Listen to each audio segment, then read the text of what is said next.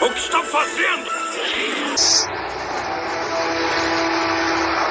Tá bom, acabo com você antes.